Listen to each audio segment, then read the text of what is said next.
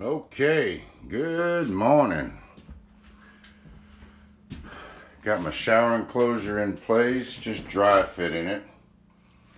Uh, my drain is right down there. It's perfect. Um,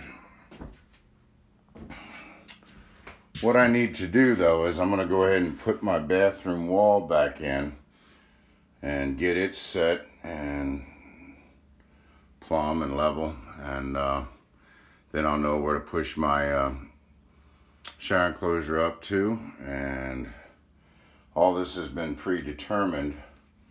So and there's my ba bathroom walls have already been built. So once they're in square and plumb then uh,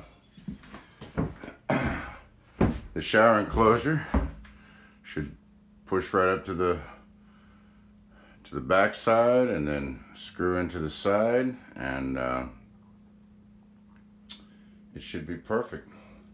All right, I'll be back.